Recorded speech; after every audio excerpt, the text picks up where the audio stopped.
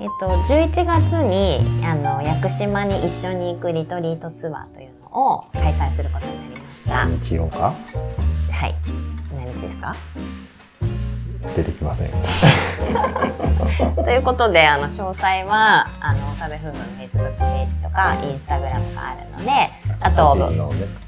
個人のフェイスブックとかインスタもあるのとあとサベ夫婦ブログがあるのでそちらで屋久島のリトリートツアーっていうのは、えっとお知らせさせていただきます。初めて夫婦でそういうのやってみたいねと思ってね、うん企画して主催みた主催ないなね。感じでね募集中ですね。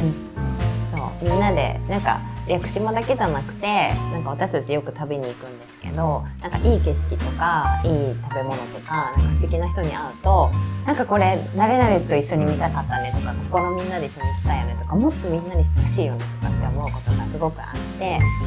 これからもなんかこう地球を遊ぶというかなんかみんなで楽しめる企画をなんかたくさんやっていきたいなって思っていてその第1弾みたいな感じで屋久島リトリート11月にやっていくのであのなんか新しく仲間ができると嬉しいなって思ってますね。ねいろんな人と行けたら嬉しいですね。うん